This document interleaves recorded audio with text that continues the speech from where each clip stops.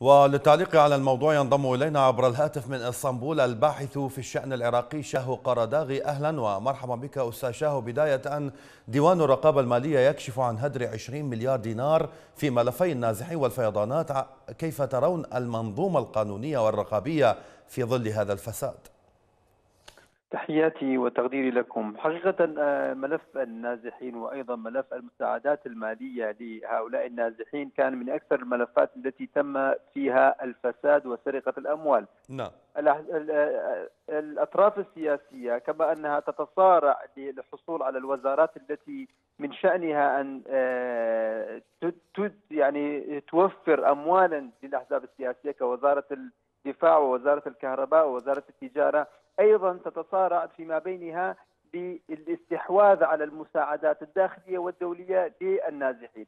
وبما نعم. أنه لا يوجد أي جهة رقابية، لا يوجد أي جهة رقابية تراقب هذا هذا المال أو تراقب هذه المساعدات أين تذهب، بالتالي أكثر من 80 إلى 90% يذهب إلى جيوب الفاسدين ولا يتم صرف باقي المبلغ للنازحين، وهذا ما يثبت أن حتى المستلزمات التي تم توفيرها للنازحين ولل آه، الفقراء وللمحتاجين لم يكن بالجودة الكافية ولم تتحمل الأمطار وسوء الأحوال الجوية. وبالتالي على الرغم من سرقة مبالغ كبيرة من هذه المساعدات أيضا تم إنفاقها في آه، شراء مستلزمات ذات جودة رديئة.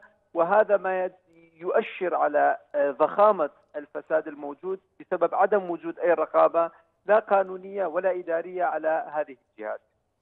طيب ديوان الرقابة المالية يقول أنه تم هدر تريليون دينار من خلال مشاريع الاستثمار الوهمية إذا من المسؤول عن مراقبة موازنة الدولة؟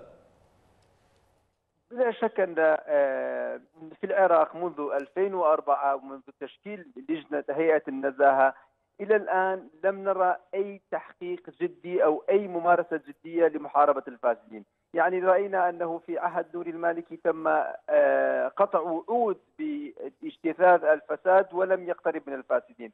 وأيضا في عهد العبادي الذي هدد أكثر من مرة ولم يفعل.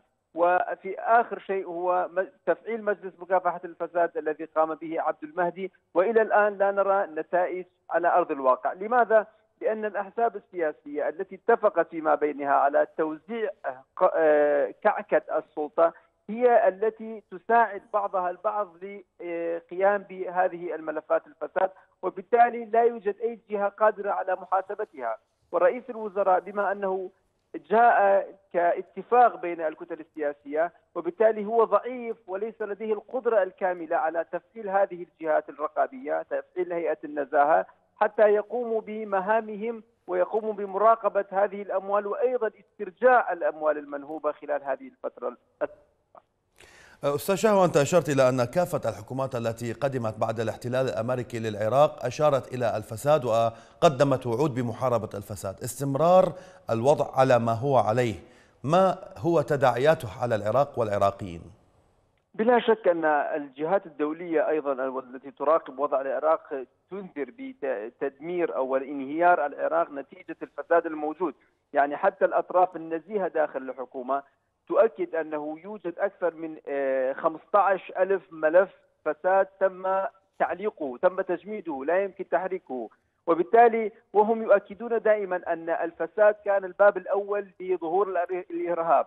وأيضا الآن العراق تخلص من الإرهاب ويريد أن يتعافى ويحصل على مساعدات دولية ولكن في في لأجل اطمئنان هذه الجهات الدولية لا يقوم بأي خطوات لاجتثاث الفساد أو مكافحة الفساد، وبالتالي حتى الجهات الدولية من المؤكد أنها سوف لن تقدم هذه المساعدات لهذه الحكومة التي تدرك أنها حكومة فاسدة وأيضا توفر المال لإيران وللميليشيات المسلحة حتى يستمر نشاطها ولا يتم صرفها وإنفاقها للمشاريع الخدمية والاستثمارية، وهذا ينذر بانهيار الدولة يعني في في حال استمرار هذه آه، التجاوزات والفساد وتراكم الفساد وعدم وجود إرادة جدية أو مؤسسة جدية تقوم بمحاربة ومكافحة الفاسدين عندما يقبع العراق يعني في المرتبة 168 من بين 180 دولة في مؤشر مدركات الفساد لعام 2018 ويقبع في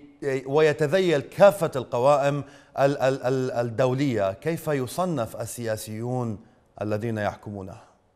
بلا شك أن آه، هذا التصنيف ووجود العراق في ذيل القوائم دائما هو أحد إنجازات هذا الحكم الذي وعد المواطنين بالاستقرار بالأمان بالتطوير بالخدمات ولكن لم يحقق أي من هذه الوعود.